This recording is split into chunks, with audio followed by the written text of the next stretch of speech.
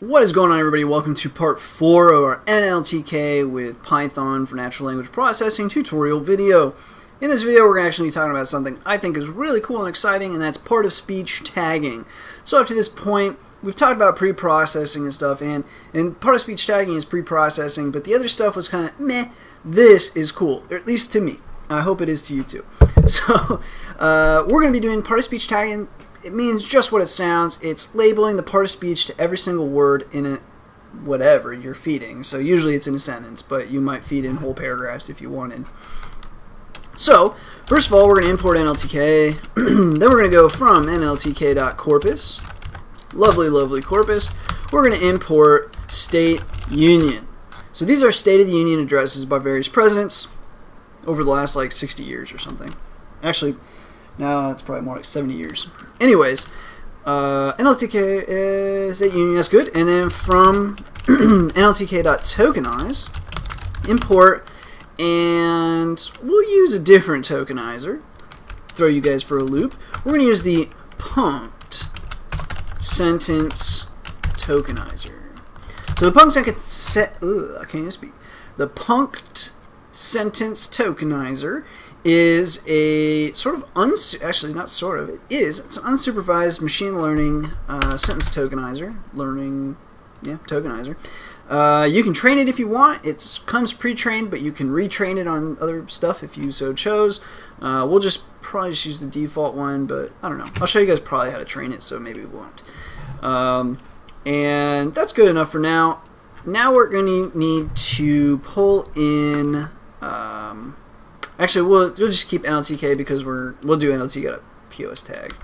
So now what we want to do is let's get the sample text, and this will be state underscore union, and then dot raw. So we're going to grab the raw text for what text.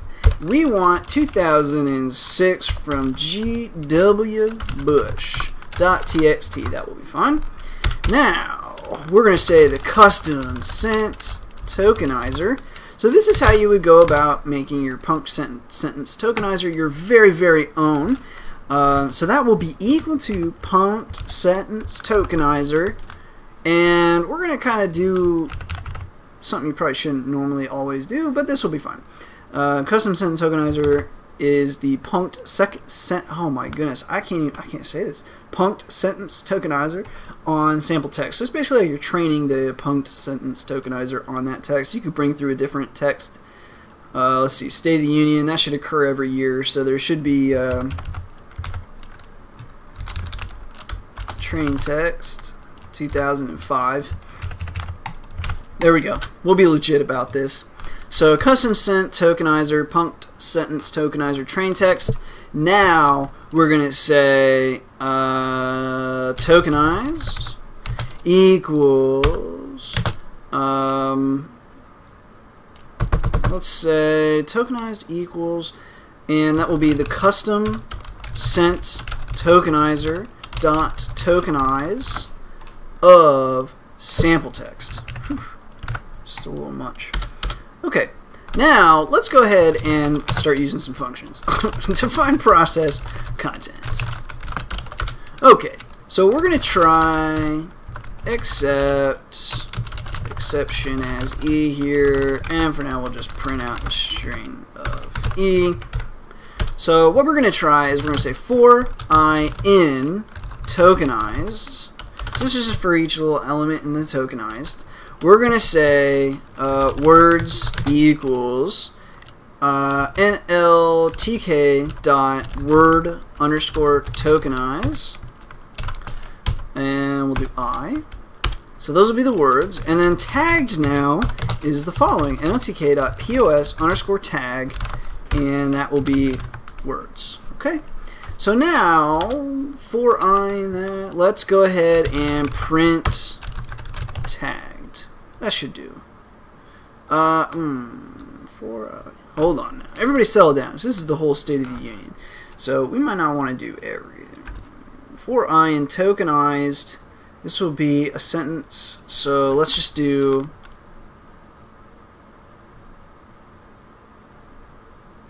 Ah, this will be fine. Let's do it. Full steam ahead. This might be way too big. That's okay. Oh, we're not processing the content. Let's let's call this function first. All right, now full steam ahead, everybody. Woohoo! oh, how long did George W. Bush uh, yap on for uh, at the State of the? There we go. Okay, we made it all the way to the bottom. Awesome. Applause. okay, so let's just I don't know. Uh, you can go wherever you want. Let's go to the top so everybody can follow along. Uh, so President George W. Bush. It gets that these are nouns before. Uh, this is just too much. Uh, courageous, JJ. So actually, now would be a good time to talk about what these little meanings are. Okay, so I'm looking at them. I'm like, yeah, that makes sense. Y'all are probably looking at these words like, mm, what?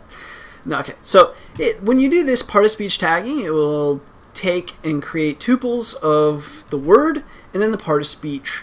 And instead of writing them all out, I'm just going to go and copy and paste them for you guys. Copy this. Come over here. Make some space and paste. Okay, these are your part of speech tags. So CC, coordinating conjunction, and then like NNP is a proper noun. Uh, then you've got, you know, verbs, so VB, VBDs, past tense, blah, blah, blah. The only one that's weird, I think, is R. Yeah, R is adverbs. So when you see that, you might not, like, in your head, like when I see these, like PRP, obviously, um, actually, I would say that's a preposition. Uh, but the IN is our preposition. Um, so anyways, it's a good idea to have this around because you can quickly confuse yourself, um, as I just did. So that's that. So we can come back over to our um, little output here. So now you can see, okay, noun, yeah, yeah, yeah. And then fellow citizens today, courageous, blah, blah, blah. So what's courageous, for example? JJ, adjective, okay, so that was a success, good. Um, served, let's see, verb, good, good. America, good, got that. So anyway, you can go through and look at all of them, but for the most part, this actual part of speech tagging is like, mm, perfect. It is nice. It's going to mess up from time to time, especially on like, um, I'm trying to think of some good examples of when it messes up. Definitely on some nouns, like a lot of times it's not going to recognize nouns, especially if you're reading like Twitter. So eventually, we may or may not use Twitter as a data set. I'm contemplating using like streams from Twitter, and you'll find that a lot of people do not capitalize their persons, right? So it, a lot of times they'll have a person's name, but it's under lowercase, and NLTK is like, what is this? So that can be kind of a problem sometimes, but for the most part, it's pretty darn good. So that's part of speech tagging pretty simple. Again, most of what we did before we even got to part of speech tagging was just getting some data and getting some example sentences. Plus, I wanted to show you the Punkt sentence tokenizer. Look at me saying it. And also loading in uh, corpora like this. Uh, the State of the Union, Ron, George W. Bush. Again, we'll be talking more about corporas very soon because this is probably one of the biggest things that like I think probably most people that have used NLTK don't actually like go and look and see what they have in their corpora because it's actually or corpus. It's actually a lot of really good stuff in there, uh, a lot of golden nuggets, so to speak. So, anyways.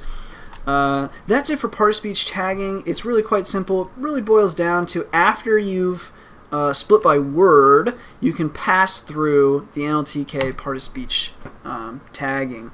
Now, um, nah, I won't show it to you yet. When we get to chunking, I'll show you how you can display everything. It's really pretty. Uh, so anyways, that's it for part of speech tagging. If you have any questions or comments, concerns, whatever, please feel free to leave them below. Otherwise, as always, thanks for watching. Thanks for all the support and subscriptions. And until next time.